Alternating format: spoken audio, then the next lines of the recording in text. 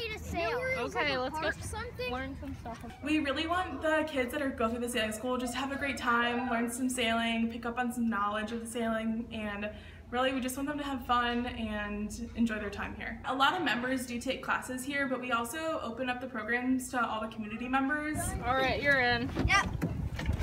Okay, let's go. Definitely the most rewarding is when kids are really proud of themselves or like find a new thing that they're good at. I don't know, they find a hobby.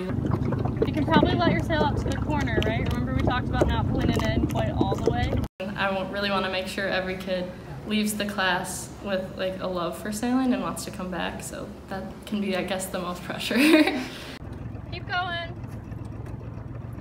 My favorite part about sailing is when I get to steer.